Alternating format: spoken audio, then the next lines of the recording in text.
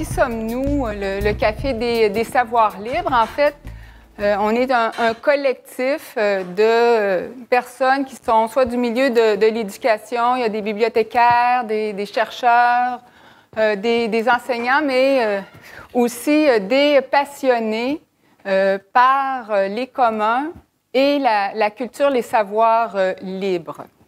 Alors, je vous dirais que euh, si on regarde euh, la façon dont on a formulé euh, nos éléments de, de, valeur et de principe, on, on l'a mis sous le mode de promotion des communs du domaine public, extension du domaine de la culture et des savoirs libres. Et maintenant, peut-être que ce qui nous distingue aussi comme, comme collectif, c'est peut-être de s'apparenter un peu au mouvement euh, anarchiste et aussi euh, au groupe d'affinité qui euh, caractérise la mouvance anarchiste. Puis peut-être qu'en bonne, bibliothécaire, je vais, vous lire rapidement comment on définit les, groupes, d'affinité dans la mouvance anarchiste. Alors on dit que les, groupes d'affinité procèdent d'un certain type de mode d'organisation et euh, se définissent comme une unité militante autonome d'environ 5 euh, à 20 individus qui partagent une même sensibilité à l'égard de causes à défendre et du type d'action à privilégier.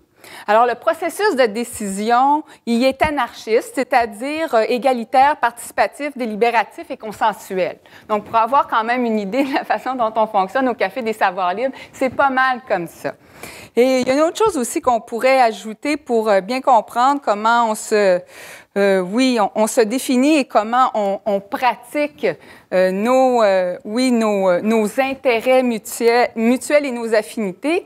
On dit que la dynamique des groupes d'affinités est influencée d'une façon particulière par l'amitié entre ses membres. Donc, on n'est pas seulement des, militants, mais on est aussi des amilitants. C'est-à-dire, donc, on a euh, oui, une, relation euh, d'amitié euh, qui, qui, justifie aussi les, moments d'échange et puis les actions de, promotion et de défense des, communs du savoir et en particulier, évidemment, depuis une année ou deux, les questions liées au domaine public.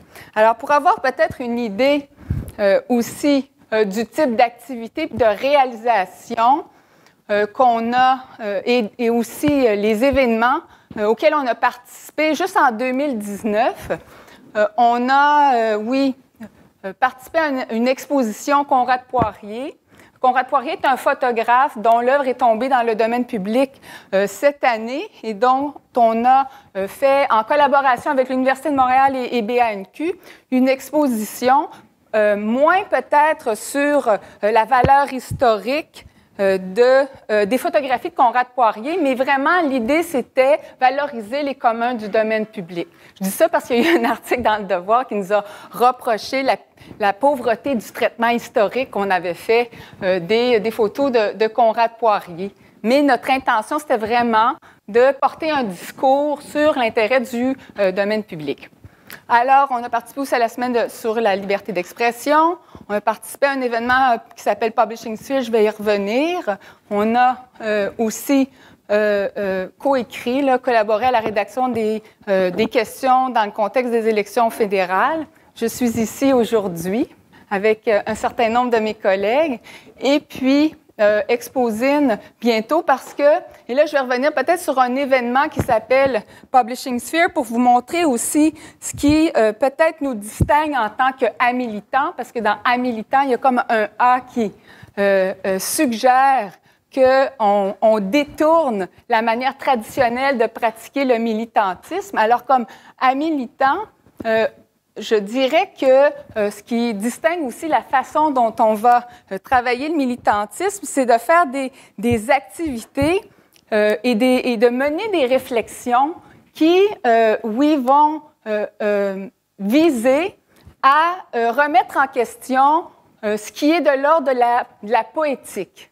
Par des actions qui sont souvent euh, de nature poétique, c'est-à-dire qu'on va mener des actions, des réflexions qui vont réfléchir sur la création artistique et euh, aussi sur la culture, la création des savoirs, évidemment. Alors, dans le contexte de Publishing Sphere, qui va vous servir d'exemple et qui va nous mener à parler ensuite du calendrier de l'Avent, euh, c'était une activité qui avait été en fait un projet, une sorte de colloque euh, oui, un peu déjanté, qui avait été organisé par un collègue de l'Université euh, de Montréal et puis qui visait à euh, questionner le modèle éditorial dans, dans l'espace public. Et dans ce contexte-là, ce qu'on a fait avec les, amis du Café des Savoirs Libres, c'est qu'on est, est allé rencontrer un certain nombre d'institutions culturelles comme BANQ, une bibliothèque publique, la Cinémathèque également, pour euh, réfléchir avec eux euh, sur la, place du domaine public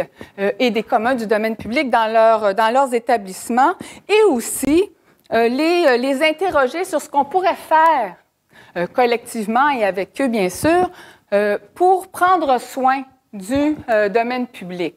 Comment on pourrait très concrètement concevoir une trousse de soins pour le domaine public? Alors, euh, bon, la première journée, on a fait ce, travail, euh, oui, de, de, de, conversation. La deuxième journée, dans le fond, on a réuni cette information-là, puis à la lumière des, des euh, de ce qu'on avait eu comme, comme échange, on s'est dit, OK, je pense qu'on a besoin d'un outil qui soit de nature pédagogique. Alors, on a réalisé un ZIN. OK, sur, sur le domaine public, je l'ai, je l'ai apporté ici. En fait, ça, c'était notre, boîte pour prototyper cette trousse d'outils sur le domaine public. Et puis, on a réalisé un ZIN la deuxième journée. Je peux peut-être le faire, euh, circuler. Et la troisième journée, bien, on a présenté euh, le, le, résultat de, de, notre démarche. Donc, on voit qu'on a, à travers cette démarche-là, questionné un peu la, poétique à travers une intervention qui se voulait elle-même euh, utilisatrice de ces, de ces outils-là.